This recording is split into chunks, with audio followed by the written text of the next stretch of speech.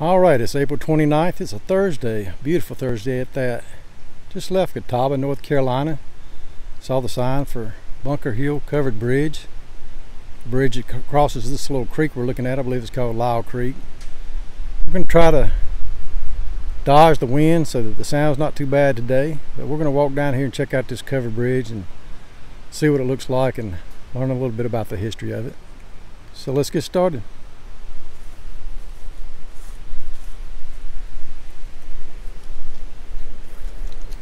You have kids here, they got this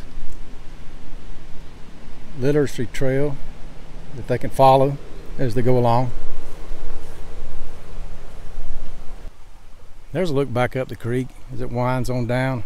I just come over here to take a look again because they have this big metal piece right in the middle of the river. So I imagine when that river floods, that water hits that. I'm not really sure what the purpose of it is though. Anybody knows who lives around here? Yeah, comment below, let me know. Looks like they used to have a road, you, I get, well there's still a road you can drive down to, but it's blocked off. They put this little trail off to the side here. I'm not exactly sure how far it is. We just have to keep walking until we find out. Yeah, here's another one of those signs. This is number seven. It tells a little story. Kids can read that as they go along. It's interesting.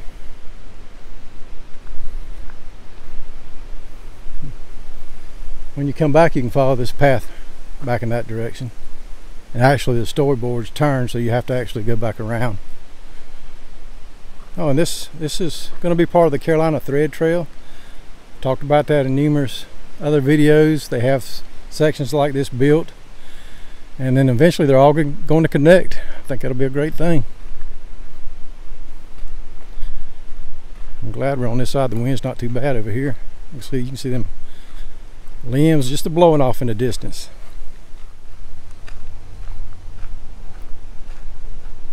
So I can see the bridge up ahead. Not too much further. Just want to turn the camera back on and you what the power of water can do water's been coming down here and eroding this bank out here where this road is.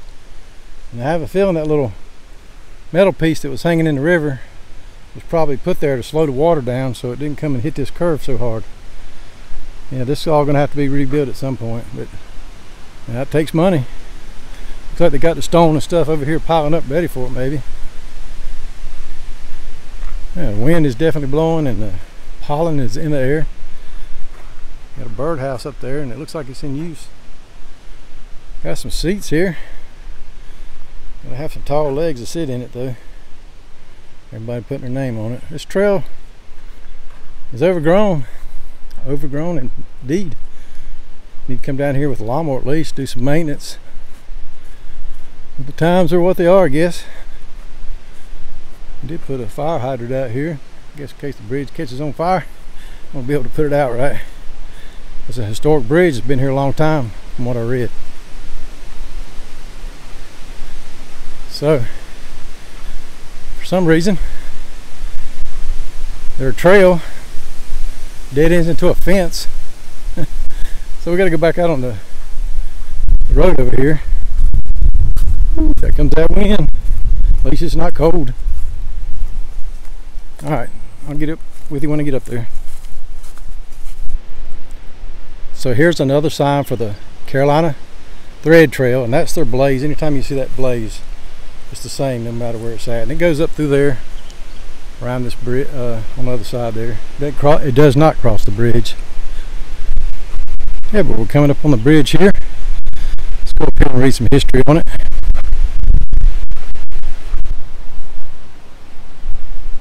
So they have some plaques here for the bridge telling about it Bunker Hill covered bridge across Lyles Creek on Old Island Ford Road. It was erected in 1894 and covered in 1900. It's been here quite a while. And that's the bridge over there. I'm going to go over here and look what they got over here. Got some information about how it was built.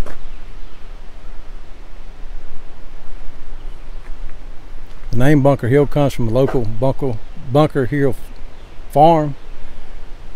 And it was put on their land, I imagine. That's what it would have looked like back in the day. See there's a lot of trees around it now, but it was a farm at that time, and there's Lyles Creek. And before the bridge, people had to go down through that creek and then go over to the Catawba and ford the river there. Yeah, it says it was part of the Island Ford Road, a former Indian trail which remained important throughout the state's western development. And during the colonial period, the road served as a route to transport British prisoners of war, of war after 1871 in the Battle of Cowpens. The Morgan Army, with hundreds of prisoners and captured horses and wagons, stretched more than two miles as it approached the Island Ford. That's something else. So history happening right here. And they would ford the creeks and of course the Catawba River. They would had to ford that. Yeah. There's another picture the somebody drew, a little drawing. Yes, at least 10 covered bridges existed in, in Catawba County during the 19th century. Many got destroyed by floods. Check that one out. That was a long bridge. Yeah, covered North Carolina, Catawba, and North counties. I was trying to see where that one was, but I'm not sure. I got a map. Little bit more history there. Herman. I don't even know how you say his last name, so I'm not going to try. He's the he's the fellow they hired to build the thing, and he must have done a good job because it's still standing here today. I love these beautiful bridges. Yeah, but this would have been a formidable crossing. You got wagons and horses and no bridge here. You know, you'd had to make your way down somewhere maybe over there and ford across. I don't know exactly where they would have done it. I'm sure it wasn't right at this spot. It went down where it's a little flatter. Yeah, all those prisoners from Cowpens would have been marching down through here. This would have been an Indian trading route, covered wagons, all kinds of people going back and forth. We think of our interstate roads today, this would have been a similar pathway, imagine at one time with a lot of people crossing. They had to they had to follow these roads to these fords you know, it was the only way of get, getting across the river. There wasn't any bridges like that until they started building them. And they built this one right here over Lyles Creek. This is a great example of history right here. But then you got these jackasses that want to come in here and paint on them. You know, that, that wood is old. Yeah, I guess they feel like they want to be remembered. And they will be, in my opinion, remembered for being dumbasses. Why? There's no use into this. No use at all. You can find another place to put something. You don't have to put it on a historic landmark. It's all the way down through here. Yep. They have painted it from one end to another. We'll ignore that today. Shame though. Only way to get rid of it is come in here and sand it down or paint it up, paint over it. You can see how where they crossed it was thicker right here in the middle where they put these three planks. Know, I guess your wheels would be up on here. Horse is plopping along through here.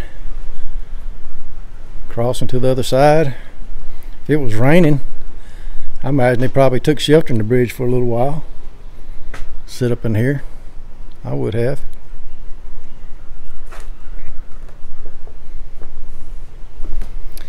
And off the bridge they would have come, of course it would have been built up then you wouldn't have to step down. They'd have it on off on the road there. I think what what did we say it was? Long Island Trading Route Road. We'll look and we'll go back. Got pathways up and down here in the fence. I guess they're trying to keep people from going down below. We had to concrete that side over there. All right, I see some people coming, so I'm gonna shoot back through. We'll pick it up on the other side there's a look back at the bridge. I decided not to go to the other side yet. I saw this little gate. So it is open and you can walk in the gate and go down to the river. I don't know why the fence is here. I'm sure it's not all the way down too far because animals need to get down here and get to the water. Yeah, you can come on down. Maybe we can get a view from the bottom. Ooh, that is steep. I don't know if I. Ooh, a big snake. Did y'all see him? Big black snake. Yeah, I wish I'd have got that sooner. He went under the side there. Man, you know how I am about trash. Now, somebody came down here with two big Slurpee or fast food drinks, sat there and just left them with their napkins. Come on, people. Why? Why would you do that? If everybody did that, this would be a big trash dump. and believe me, I've seen places like that in the past. When I was younger, I went to a Whitewater Falls or something. I believe me and a buddy, we were in a camp. We got there, nothing but trash and beer cans, and it was like camping out in the dump. And it was a beautiful waterfall. Now they cleaned that up later on, and as the years went by. But I swear, I think people starting to get back in that mindset again. And I have to keep talking about it on every video, and I'm kind of getting sick of it. I know you probably are too, but you know, I just want to drill that point home. Anyway. I wish I could have got that snake. He was big. I don't think I'm. I don't know. Let me see if I can go down there and we'll take a look at the bridge. So here's a look at the bridge from the bottom. That entire bridge, if I'm not mistaken, is held together with wooden pins. Yeah, beautiful bridge. Creek's running good today. Go over here and find that snake. There's those Dunkin' Donut cups that some body cannot find the strength to haul out along with their napkins. The snake was over here. See if we can find him. He was a big one. Up in there somewhere. Imagine. Oh well. Leave the old boy alone. This is rock right here, it feels like. You can see how it flattens out. They probably ford went across the ford down there somewhere. Kind of would have come down through there and crossed. That's the way you did it back in the day. You had to find a shallow place to cross, get your wagons across. And uh, sometimes you had to gun and go out of your way to get there and then get across and cut back to where you were going. Anyway, I think I'm gonna end it down here. I'm gonna pick up those cups and take them back with me so I'm not gonna be able to hold the camera going back. Yeah, Bunker Hill Covered Bridge. Not far from Catawba, North Carolina. Glad, glad to come down here today. It's a nice day. Hope you enjoyed this little tour, walking tour of the bridge. If you did, like, subscribe, and share. Y'all take care.